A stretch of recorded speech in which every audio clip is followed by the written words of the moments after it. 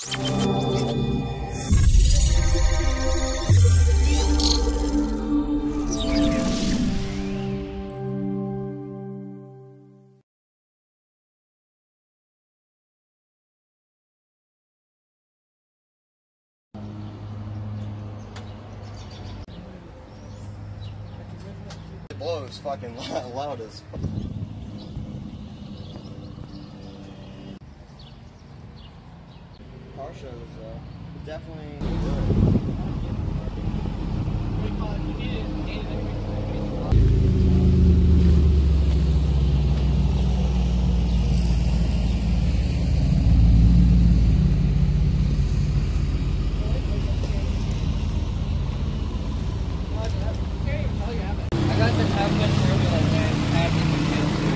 What kind of turbo is it? Precision with 15 force, 15 speed just now. You know, one thing he was nuts was um, after he bought it, he found out that they sold a full kit